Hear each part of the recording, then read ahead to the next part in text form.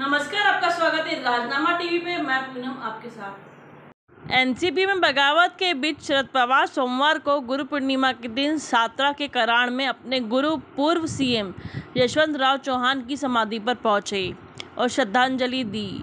इस मौके पर उन्होंने कहा कि भाजपा देश भर में चुनी हुई सरकारों को गिरा रही है। महाराष्ट्र में भी ऐसा ही हुआ है।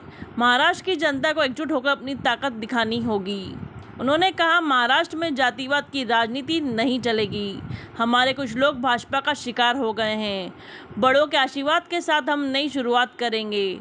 हमने 5 जुलाई को पार्टी के सभी नेताओं की मीटिंग बुलाई है। कहा गया है, मीटिंग में सभी नेता एफिडेविट के साथ आएँ।